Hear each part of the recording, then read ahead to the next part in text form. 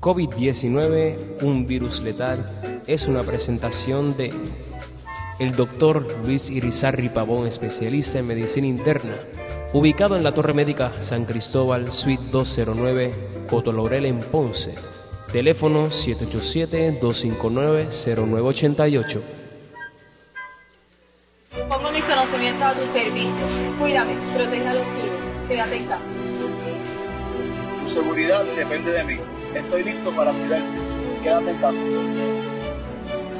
Tu emergencia se convierte en mi urgencia. Cuida de los tuyos, quédate en casa. Si tienes síntomas del COVID-19, llama a tu médico primario antes de visitar una sala de emergencias. ¿Alguna vez pensaste tener la vida de tanta gente en tus manos? No te arriesgues. No pongas en peligro tu vida ni la de los tuyos.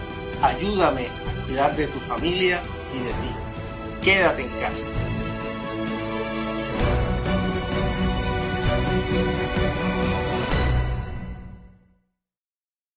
Si deseas las mejores longanizas, la mejor opción es Embutidos El Compay de Eligio Martínez desde Cuamo, Puerto Rico, con su teléfono 787-825-3789. El doctor Ramón Rodríguez Ramos, especialista en medicina de familia, ubicado en la avenida central número 111 en la carretera 14 en Cotolorel en Ponce, con su teléfono 787-848-4000. Fusión Cuisine Bar and Restaurant. Avenida Santiago de los Caballeros Final en Ponce. Hasta el 30 de marzo de 2020, Fusión Cuisine and Bar Restaurant ofrecerá servicio a través de la aplicación Lonchera. Además, puede ordenar y recoger en el restaurante o por delivery, libre de costo, llamando al 787-428-2228. 787-428-2228. Fusión Cuisine and Bar Restaurant. Comida criolla, con especiales diarios, mariscos frescos y carnes a la parrilla los siete días de la semana. De 11 de la mañana a 8 de la noche. En la avenida Santiago de los Caballeros Pinal, antes de doblar a la guancha. En Ponce, se aceptan pagos por ATH móvil.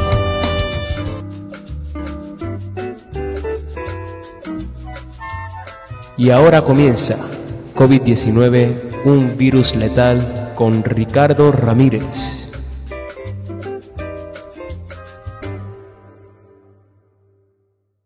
Buenas noches, los que nos están viendo en este momento a través de nuestras redes sociales, la página de Ricardo Ramírez, Facebook Live y también en nuestro podcast Ricardo Ramírez, dándole seguimiento a el virus letal de mayor impacto en la historia moderna, el coronavirus, el COVID-19 que tanto impacto ha tenido a nivel mundial. Hoy precisamente Italia reporta casi mil casos, casi mil casos en 24 horas.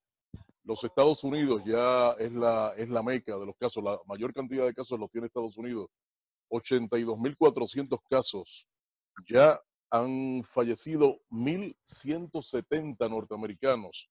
En el caso de la ciudad de Nueva York, que ha sido el foco ahora mismo de, de los contagiados, los infectados, hay 137 mil casos, entiéndase, perdón, 37 mil casos en la ciudad de Nueva York solamente y 384 neoyorquinos han fallecido. Realmente la situación es bien difícil. Esto lo, relata hoy una, una, investigación que realiza la Universidad de Johns Hopkins en los Estados Unidos. Aquí en Puerto Rico ya se reportó la tercera muerte por el coronavirus.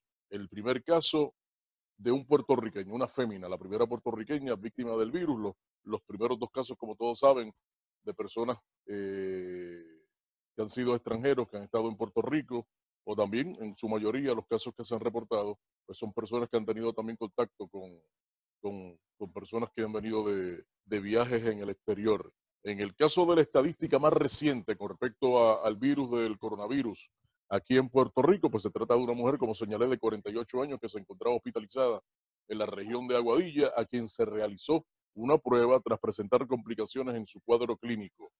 Los resultados fueron recibidos luego de su fallecimiento.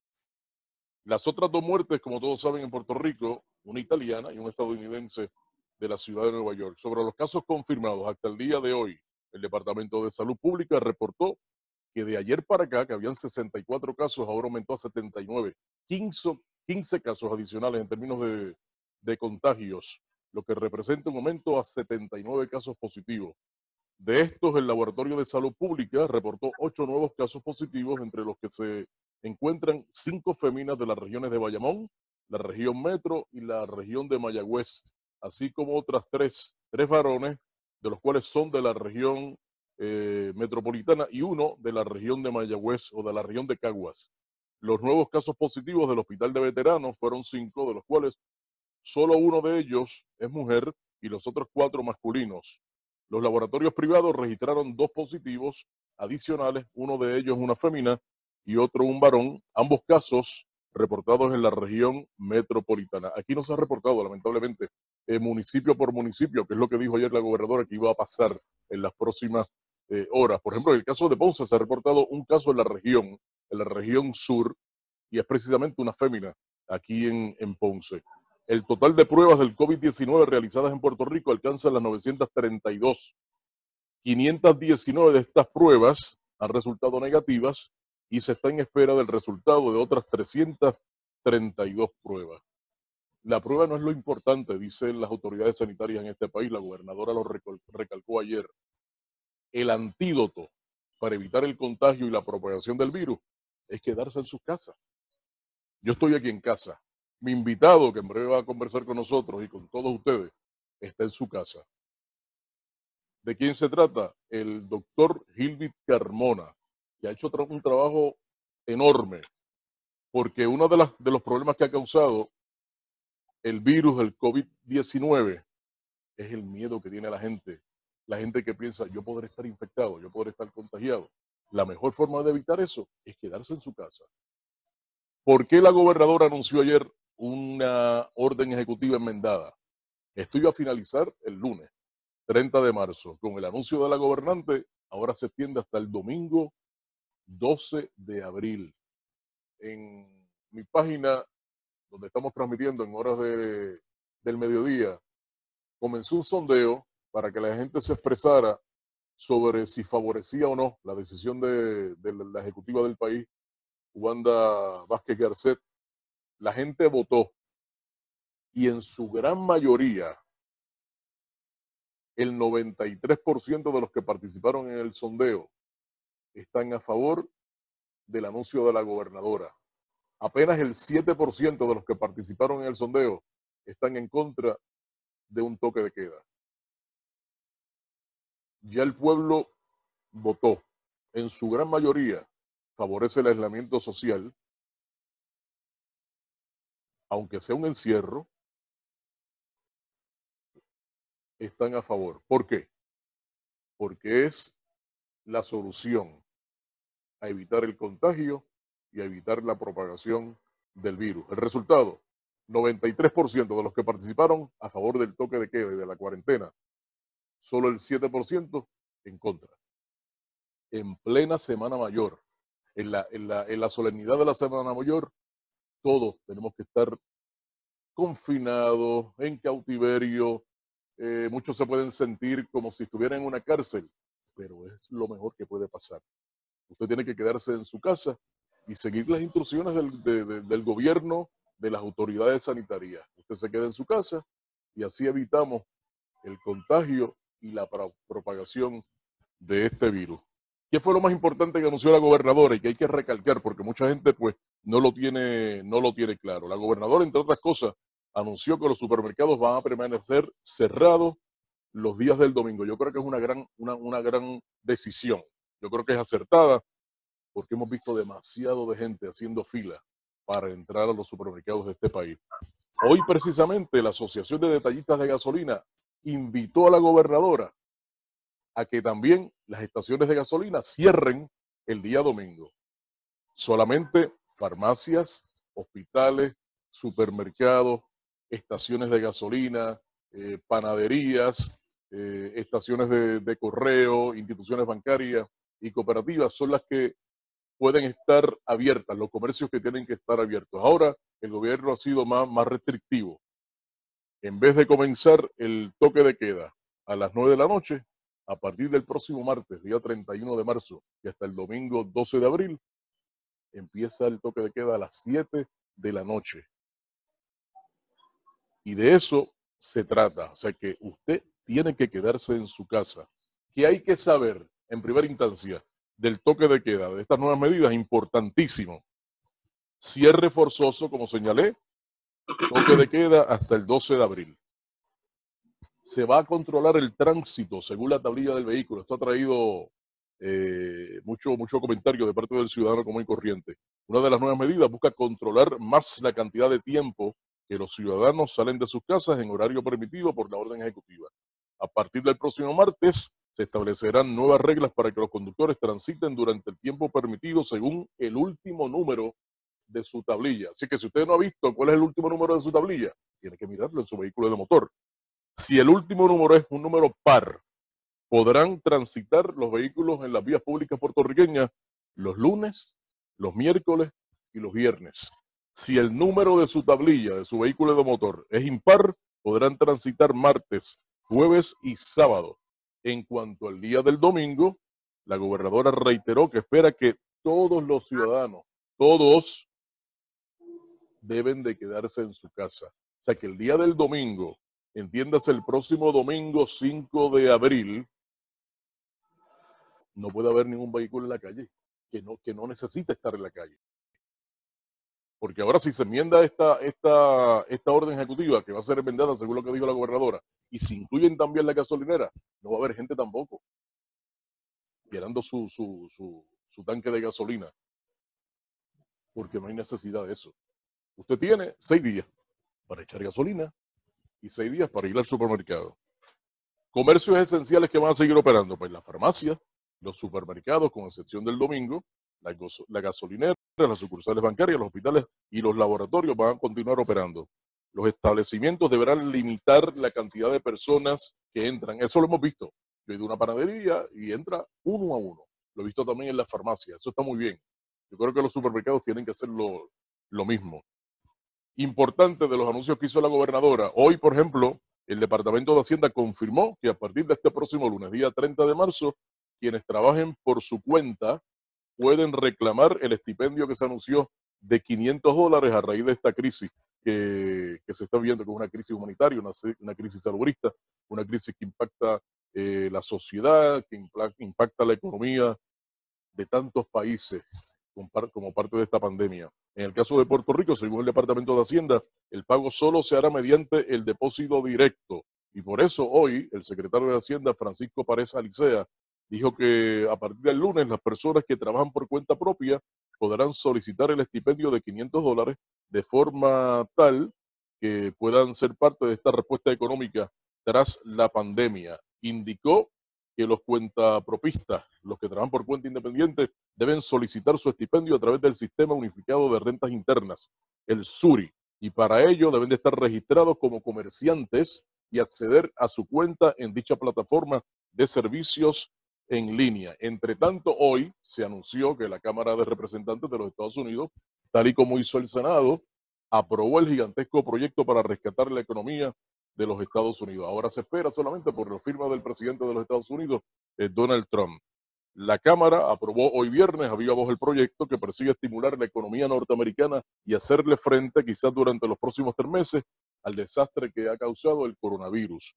La medida asigna 2.2 billones de dólares y representa la legislación de emergencia más grande de la historia de los Estados Unidos y por haber sido aprobada ya por el Senado Federal, pues ahora lo que se espera es la firma del presidente Donald Trump.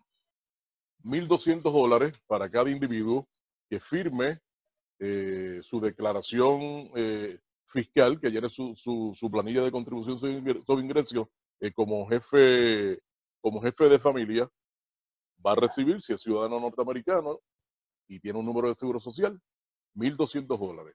Si llena la planilla en conjunto con su, con su pareja, son 2.400 dólares. Y por cada eh, menor de 18 años de edad, que va a tener también ese menor un estipendio de 500 dólares. Es lo más importante que ocurrió durante el día de hoy. Yo he conversado con Gilbert Carmona en varias ocasiones, el psicólogo motivador, a través de mi programa en directo desde Ponce todos los sábados a las 11 de la mañana en la cadena de noticias Noti1. Pero en este esfuerzo, en este nuevo programa que he hecho aquí desde, mi residencia, durante las noches, a las 9 de la noche, pues he decidido invitarlo a él para hablar precisamente sobre cómo él se ha adaptado como psicólogo, como profesional de la conducta humana, cómo los, ciudadanos él ha visto que se han adaptado a, este, a esta restricción, a este eh, encierro. Muchos pueden pensar que están en, las cárceles. Este distanciamiento social, que es tedioso, lo sabemos que es tedioso, pero yo creo que es la, la decisión correcta para evitar el contagio y la propagación. Yo lo he pasado divinamente aquí en mi santo hogar, con mi esposa, con mi familia. Hemos hecho muchas cosas. La rutina que teníamos antes de esto, antes, de la, antes del domingo 15 de marzo, ha, ha cambiado totalmente. Ahora hay una nueva rutina. Y esa nueva rutina, pienso yo que es la que tienen que establecer todos los ciudadanos que se encuentran en sus casas. A esta hora, 9 de la noche, ya comenzó el toque de queda. Vamos a conversar, vamos a conversar con un especialista de la conducta humana sobre el impacto que ha tenido el coronavirus en, el aspecto psicológico, emocional de, de, todos los puertorriqueños. Buenas noches, Gilby Carmona. Buenas noches, Ricardo, y te doy un, un, fuerte abrazo, ¿verdad? Gracias por esa gesta que haces. Desde aquí, desde aquí, desde mi santo hogar, aquí en claro, Puerto Rico. Es importante en este momento que nosotros podamos promover eh, este tipo de espacio en la cual eh, damos las noticias como son, con un hecho, y que también de alguna forma damos algunas herramientas que sirvan como aliciente para que la gente ante una situación como esta pueda manejarlo mejor. Has dicho algo importante, manejar las noticias co como, como un hecho, como no un hecho. hacer caso a rumores. Y claro. Vamos a inundar las redes sociales de, de, de, de noticias positivas. Claro. Claro, definitivamente. Y, y, en esa yo he estado en, este, en los últimos días en una campaña con respecto a eso, porque... Te felicito, cosa, te felicito.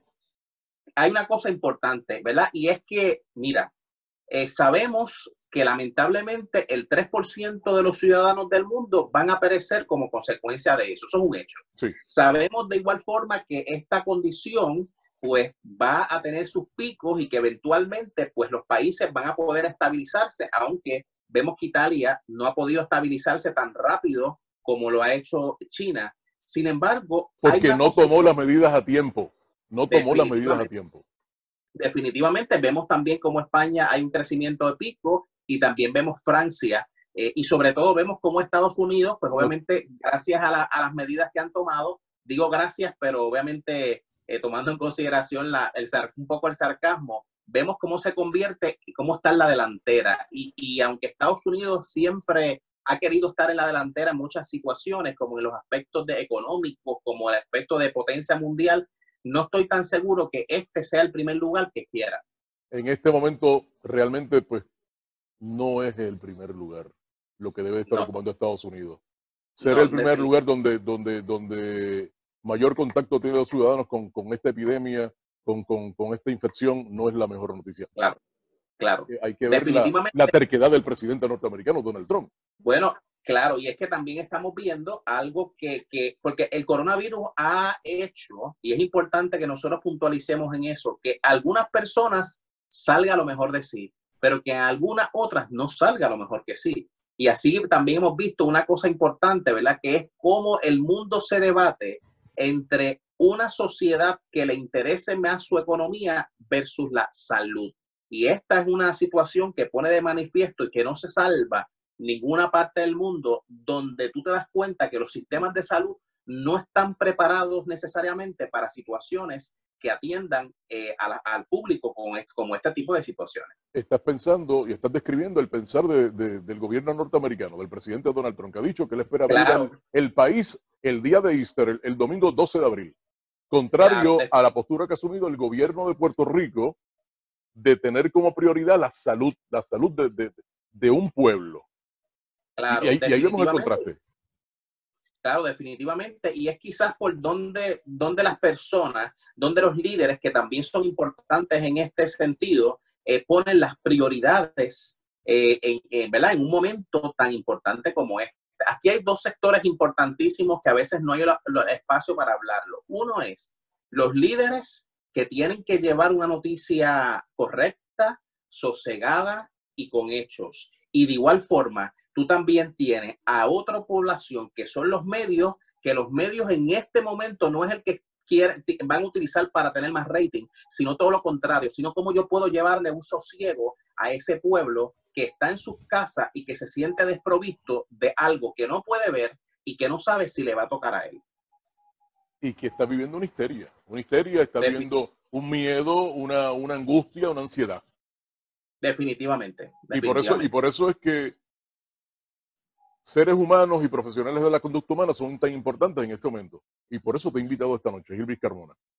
Para, para, para, que me describas cómo, por ejemplo, el, el ciudadano común y corriente, eh, aunque esté en un distanciamiento social, en un encierro, eh, tiene la oportunidad, por ejemplo, ahora de estar en su casa y compartir más en familia, con, compartir más con los suyos, por ejemplo. Claro, lo que pasa es, Ricardo, que tiene, los seres humanos, nosotros tenemos una mente y un cerebro que es maravilloso y que eso nos permite la capacidad para adaptarnos, pero en realidad el ser humano es un ser humano gregario, es decir, que nosotros siempre tenemos la necesidad de estar socializando con las demás personas. Así que nuestra vida humana, la de los seres humanos, gira en torno a cómo son nuestras interacciones sociales con los demás, comenzando en primera instancia por la familia y obviamente extendiéndose a los amigos, a los compañeros de trabajo y a los conocidos. Nosotros siempre estamos trabajando con lo que se conocen con las conexiones, ¿verdad? Eh, sin embargo, eh, esta oportunidad nos trae el espacio para, número uno, reevaluar en qué momento de mi vida y de mi existencia yo estoy. Segundo, tengo que aprender a contar cuáles son las bendiciones que yo tengo, que a lo mejor yo añoraba compartir con mi familia y mi trabajo no me lo permitía. Yo añoraba compartir con mis hijos y estar más pendiente de la educación, pero tengo tres trabajos y eso no me lo permite. Y ahora llegó la oportunidad de hacerlo. Llegó la oportunidad. Llegó la oportunidad y esta que estoy promoviendo sería la actitud que nosotros tendríamos que tenerlo toda vez de que nosotros vivimos en un, en un espacio, ¿verdad? Y vemos muchos artistas y algunos han sido criticados porque dicen, pues quédate en tu casa y tienes sus mansiones, pero a pesar de que tu casa esté en una cuadra, como quieras, es un lugar pequeño y entonces, mientras más pequeño sea el lugar, vamos a tener diferencias porque eh, todos los seres humanos tenemos una personalidad y unas características importantes que pueden entrar en conflicto cuando yo paso mucho tiempo con esos seres queridos. Por ejemplo, este es momento para que Gilby Carmona, usted que es psicólogo, doctor en psicología, es momento para que, o sea, eh, eh, antes de esto teníamos una rutina, ahora hay que, yo, establecer una nueva rutina. Hay muchas cosas que se pueden hacer. Claro, hay que establecer una nueva, una, una nueva rutina para adaptarse, pero sin ah, porque, porque, porque pienso yo que no estamos de vacaciones. No, no, bajo ningún concepto, no estamos de vacaciones, estamos en un momento que diría yo de trabajar con nuestra, con nuestra forma de ser, que está para trabajar y reflexionar sobre en qué punto social yo me encuentro como persona y de igual forma yo aprovechar y mejorar las relaciones intrafamiliares que yo tengo. Y digo familiares porque ni siquiera con tus vecinos, a no ser que utilices estos medios, tú puedes interactuar, porque lo importante es que el aislamiento tiene que ser en tu casa, eh, así que no vas a poder salir a conversar con tu vecino. Bueno, exacto. Otras que son tus relativos significantes, ¿ves? Claro está, el aislamiento social que estamos viviendo en la actualidad provoca un mayor uso, digamos, de la, de la tecnología, de la tecnología móvil, por ejemplo.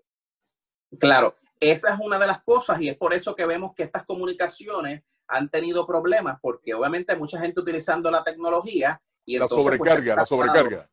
La, se han saturado, exactamente. No obstante, eh, la tecnología es importante, pero una de las recomendaciones que yo le hago a la gente es que tú escojas qué espacio de tiempo tú vas a utilizar la tecnología. O sea, una de las cosas, de las actitudes o de las destrezas que debemos desarrollar en este momento es la siguiente. Tengo que estar todo el tiempo viendo las noticias. Tengo que estar todo el tiempo viendo las informaciones que me traen del mundo, cuánta gente ha muerto. La respuesta es no. ¿Cuál es su consejo? ¿Cuál es su consejo de cómo utilizar el tiempo en, en, cada ciudadano en su santo hogar, ahora que tiene una gran oportunidad de convivir en familia?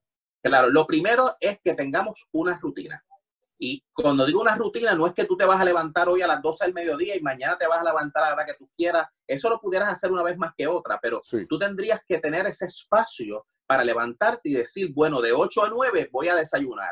De 9 a 10 voy a hacer ejercicios con la mente, voy a interactuar con mi, con mi familia. Si mis hijos tienen una tarea que hacer de la escuela, pues la van a hacer de tal hora a tal hora. ¿Para qué? Para que entonces sea más fácil ese proceso mental de adaptarme a este confinamiento que en cierta medida es un confinamiento voluntario, porque aunque tengamos un toque de queda y aunque haya unas consecuencias, hemos visto ciudadanos que no han seguido las reglas. Así que tú pudieras tener una consecuencia, pero el gobierno no te va a poner un policía frente a tu casa, frente a cada casa, para evitar que tú salgas. Así que esto es una, un confinamiento voluntario en cierta medida.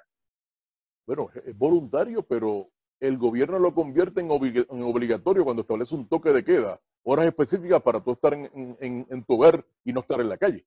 No, no, definitivamente coincido contigo, pero lo que te digo es que el cumplirlo o no, pues es que tú has, tú has decidido o que es la forma que tenemos que pensar, ¿verdad? Que nosotros es responsabilidad de, cada cual. Por supuesto, definitivamente. Y es la decisión en este momento que tenemos que tener un problema de, de salud es la decisión más correcta, aunque sea mm. tediosa para muchos. Claro, entonces tú lo que tienes que hacer es decir, tengo que trabajar con esto que no me gusta mucho versus tengo que enfrentarme a la posibilidad de que tenga esa condición y que yo o alguien cercano a mí muera. Así que estamos hablando de que este aislamiento social está contrario a la supervivencia. ¿Y cómo has visto la, la conducta, el comportamiento de los ciudadanos para para adaptarse a esta nueva vida? Bueno, en términos generales, yo he visto que los, que los ciudadanos obviamente han, han seguido las reglas, aunque vemos todavía muchas personas que de alguna forma han seguido con su, eh, con su rutina de ir a comprar casi todos los días o de ir a novelería. Y es por eso que, que ¿verdad? Eso es en mi opinión, que el equipo eh, médico de la gobernadora le ha dicho tenemos que ponernos un poco más severos con, con las restricciones domiciliarias para no, ¿verdad? Porque hay gente que no las está siguiendo, ¿verdad? Yo, de momento, hay veces que me ha tocado ir a una entrevista de, radio fuera de, mi casa y he pasado por los establecimientos que venden, ¿verdad? Los shopping, los supermercados y he visto las filas enormes allí. Yo me pregunto, ¿por qué? ¿Qué tú tendrías que comprar tanto todos los días? ¿Para qué? O sea, Ahora le pregunto, ¿fue una decisión correcta el anuncio de la gobernadora de ser más restrictiva esta orden ejecutiva, eh, por ejemplo, restando dos horas al día de, la oportunidad que tiene el, ciudadano común y corriente de estar en la calle, establecer un toque de queda a partir de las 7 de la noche y no a las 9, el anuncio de que los comercios cierren el domingo. Claro, definitivamente, ¿sabes por qué, Ricardo? Porque en la medida de que de alguna forma nosotros hacemos eso, eh, vemos cómo de alguna forma los, el tiempo o el espacio de tiempo que está establecido eh, para que la gente eh, deambule por ahí es menor. Y vemos también cómo entonces los supermercados se ven en la responsabilidad de llevar a su gente a un, a un momento más temprano y que pueda estar en su casa, ¿verdad? Ya no tienes este empleado que tiene hasta las 9, 10 de la noche para estar allí, sino que ese empleado y si el toque de queda comienza a las 7, pues ese negocio no puede cerrar a las 7 de la noche porque no le daría tiempo a la gente, tiene que cerrar antes. Así que ya vemos cómo de alguna forma eh, es más efectivo el hecho de que más personas se queden en la casa. ¿Cómo has visto el comportamiento de, de las familias en términos de la convivencia? Eh, ¿Cómo es esa convivencia? Ya, ya, por ejemplo, estamos hablando del día, el día número 12. 12, sí el día número 12 del toque de queda que finaliza el próximo lunes y que se extiende hasta el 12 de abril. Esa convivencia, mamá, papá en el hogar con sus hijos. Bueno, yo creo que en algunas familias eh, será muy sencilla y será ese espacio para retomar eh, esa convivencia. En algunas otras, ¿verdad? Como en el caso de las, las familias que viven la violencia intrafamiliar, pues probablemente nos levanta una bandera roja yo sé que se le está haciendo un reclamo a la gobernadora, ¿verdad? ¿Qué hacer eh, con esas personas? Eh, porque ha, habido, ha, eh, habido, un alza, un alza, principalmente reportado de la zona metropolitana de San Juan. Claro, claro, definitivamente, pero ha habido un alza por el hecho de que las personas obviamente eh, se tienen que quedar en su casa y que en muchas ocasiones no es que eh, hayan habido más, más personas que sean victimarios de violencia doméstica. Yo creo que la estadística de los víctimas domésticas está en un range. Lo que pasa es que ahora ese victimario o esa víctima ya no puede salir de su casa y está allí y entonces obviamente pues es como un caldo de cultivo para que una situación eh, que antes pues causaba conflicto pues se salga de proporciones. Y, y, es difícil lidiar con eso, ¿no? Con quizás con la con establecer una nueva rutina, eh, evitar el ocio, pero para eso pues pienso yo que hay que establecer una, unas rutinas creativas.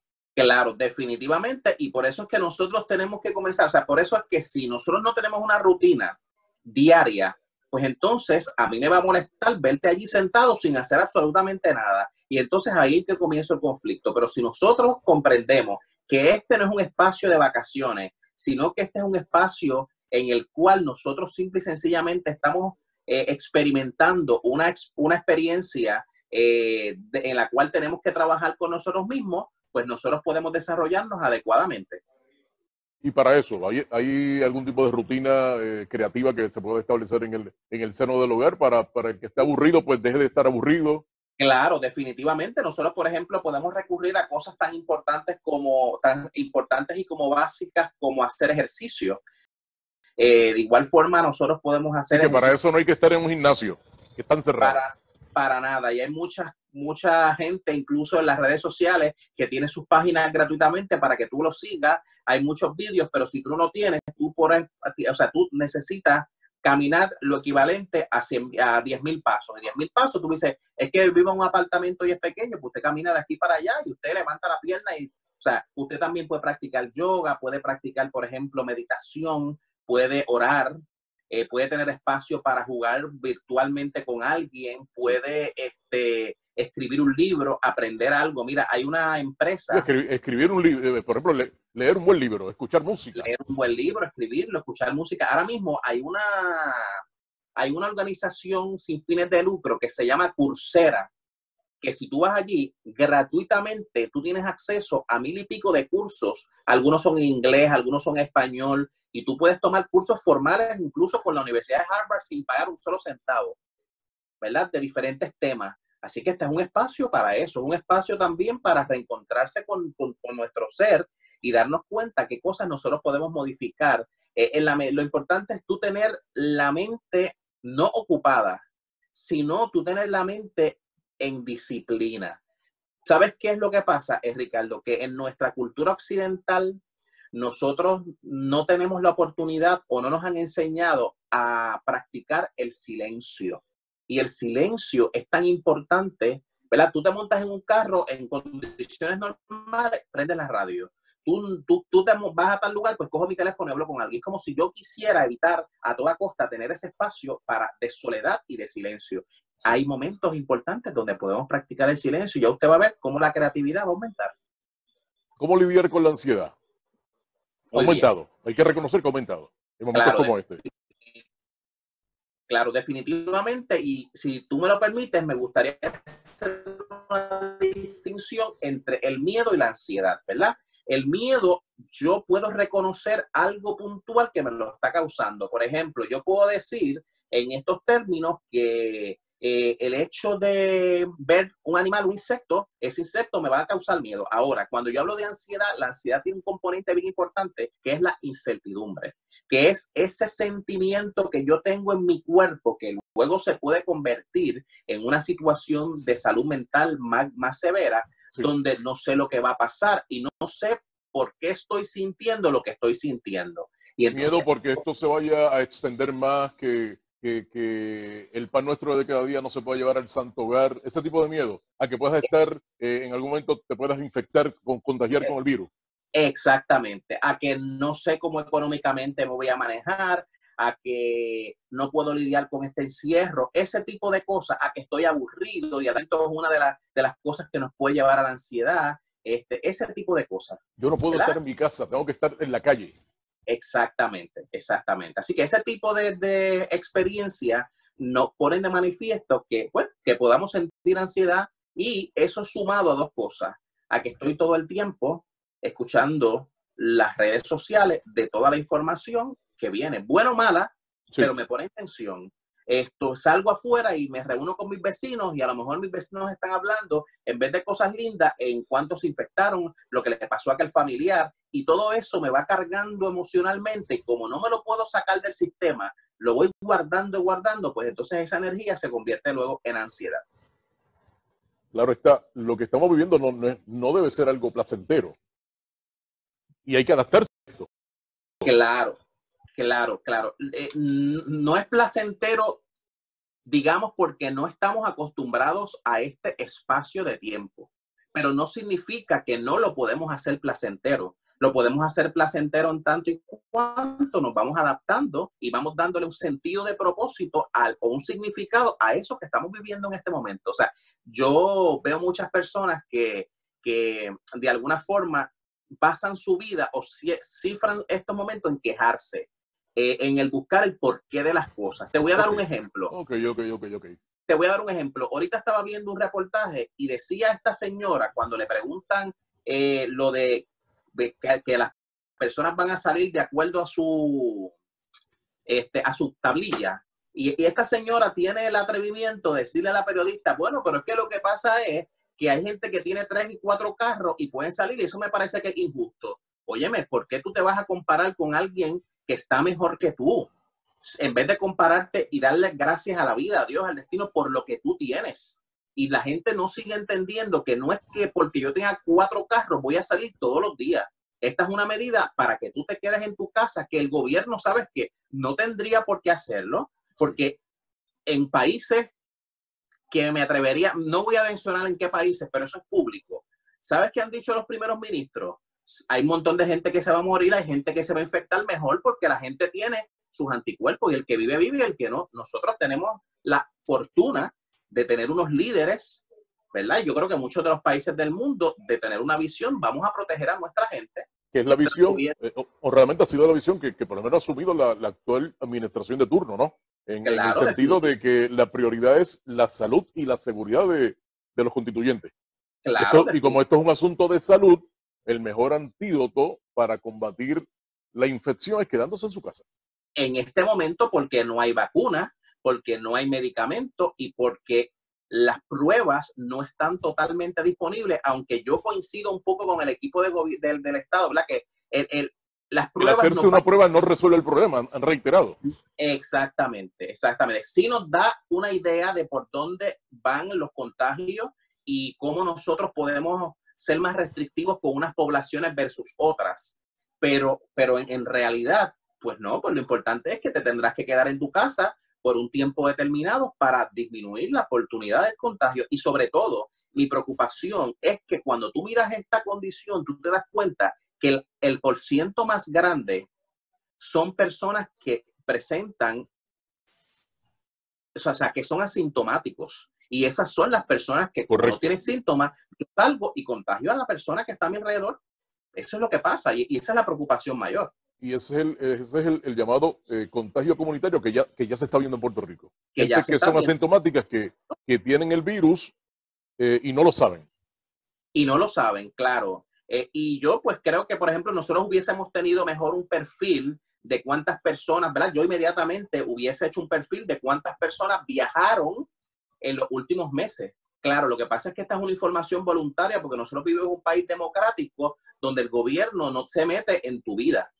¿verdad? Y esa pues, pues nuestro sistema de gobierno, pero quizás nosotros deberíamos abrir una línea o una página de internet y el gobierno diga, si usted viajó entre diciembre y, febrero eh, a estos lugares, por favor, usted identifíquese, déjenos para nosotros tener una constancia y esas son algunas personas que pudiéramos analizar más de cerca. Claro, el, grupo asesor de la gobernadora ha dicho que por cada caso de persona infectada pudiese haber 10 más y por eso ellos han hablado de que en este momento podríamos tener en, Puerto Rico, eh, con, la cifra de 79, por ejemplo, casos positivos, pues ya podríamos tener unos, unos, unas 800 personas infectadas. Si seguimos ese mismo, ese mismo eh, cálculo, ¿no? Claro, porque lo que, lo que estamos viendo a nivel del mundo es que este tipo de condición se multiplica exponencialmente, ¿verdad? Eh, claro, fíjate, alguien me dijo, y he visto cifras, y yo obviamente no soy experto en esa área, pero hay cifras que me, me, me, permiten a mí reflexionar. Veo personas que han dicho que en Puerto Rico van a haber 20 mil muertos. Entonces, cuando tú miras eso, y en China, que es el lugar más grave, ocurrieron 8 mil, pues no puedo creer que en Puerto Rico seamos los más... Eh, los menos favorecidos por la divinidad y que tengamos 20 mil muertos. Sí. Nada, finalmente, eh, ya hablaremos eh, más adelante según continúe esta, esta emergencia nacional. ¿Has notado que la mayoría de los ciudadanos ha podido lidiar correctamente con el distanciamiento social? Yo entiendo que sí, y yo entiendo que sí por una razón. Puerto Rico vivió en épocas de huracán María. Y en épocas del huracán María, por situaciones distintas, hubo personas que apenas podían salir de su casa. Cuando estuvimos mucho tiempo sin luz, pues nadie podía salir, los negocios estaban cerrados. Así que yo creo que esa experiencia de María nos permitió a nosotros poder adaptarnos con más facilidad a esta situación.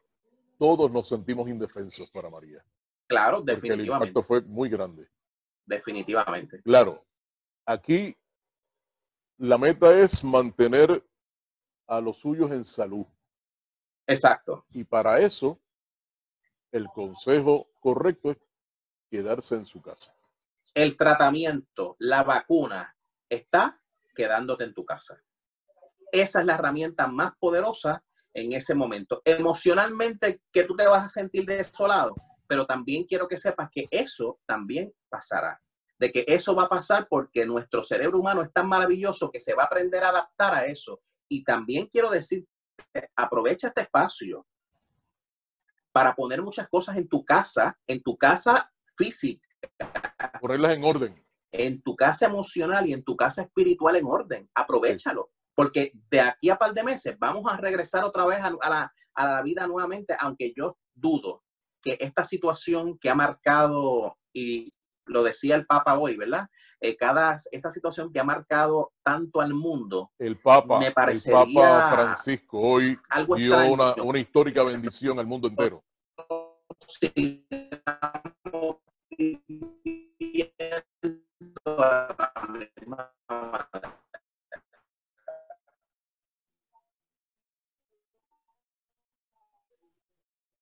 Decía que el Papa Francisco hoy dio una, una histórica bendición al mundo entero para, para en momentos tan difíciles que estamos viviendo a raíz de esta pandemia del COVID-19.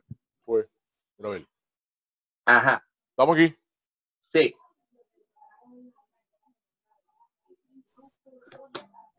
Ok.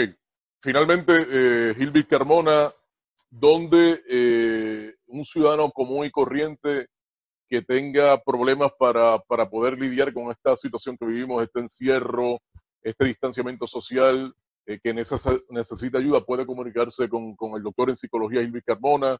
Sé que estás a través de tus redes sociales llevando unos mensajes diarios que son excelentes y tengo que felicitarte. Claro, definitivamente yo le pido a la gente que me consiga a través de los, de los ¿verdad? Que yo estoy, estoy en Facebook y en Instagram y allí mi equipo de trabajo, que no está trabajando en una oficina formalmente, pero está trabajando a través de los medios, lo que hacen es que te coordinan un espacio para que electrónicamente podamos encontrarnos y ver de qué forma nosotros podemos ayudarlo. Y invitar a la gente a que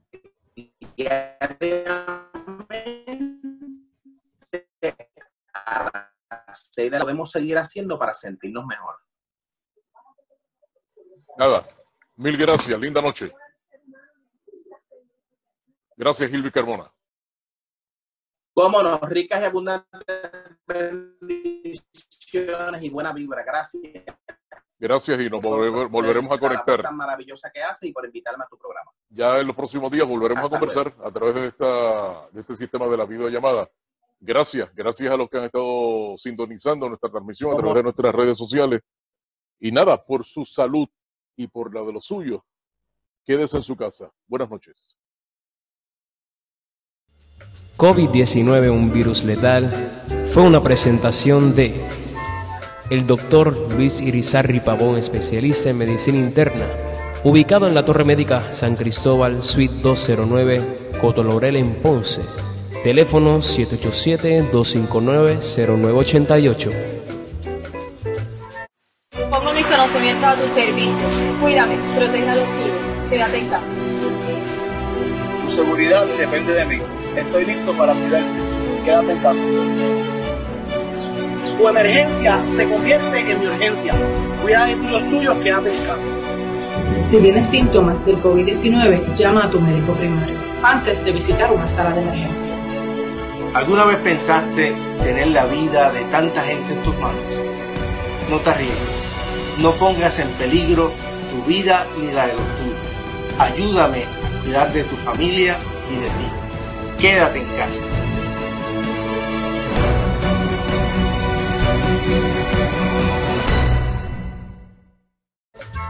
Si deseas las mejores longanizas, la mejor opción es Embutidos El Compay de Eligio Martínez desde Cuamo, Puerto Rico, con su teléfono 787-825-3789. El doctor Ramón Rodríguez Ramos, especialista en medicina de familia, ubicado en la avenida central número 111 en la carretera 14 en Cotolorel en Ponce, con su teléfono 787-848-4000. Fusión Cuisine Bar and Restaurant. Avenida Santiago de los Caballeros Pinal, en Ponce. Hasta el 30 de marzo de 2020, Fusión Cuisine and Bar Restaurant ofrecerá servicio a través de la aplicación Lonchera. Además, puede ordenar y recoger en el restaurante o por delivery, libre de costo, llamando al 787-428-2228. 787-428-2228. Fusión Cuisine and Bar Restaurant. Comida criolla, con especiales diarios, mariscos frescos y carnes a la parrilla los siete días de la semana. De 11 de la mañana a 8 de la noche. En la avenida Santiago de los Caballeros Pinal, antes de doblar a la guancha. En Ponce, se aceptan pagos por ATH móvil.